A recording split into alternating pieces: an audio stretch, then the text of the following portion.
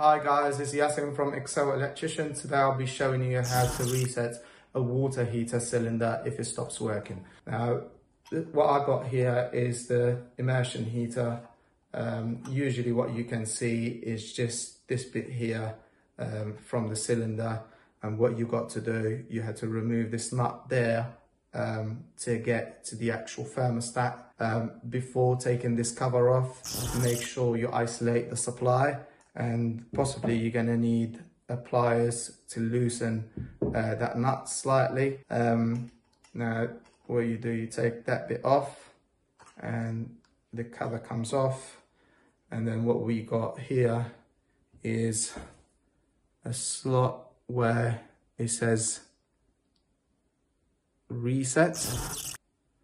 Um, what you do, you get your pen and just push it in and that should reset um, the element and your water heater will start working. If that doesn't happen, then the immersion heater is faulty, need replacing.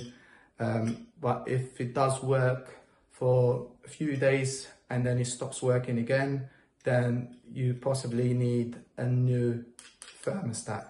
Thanks guys for watching and we see you next time.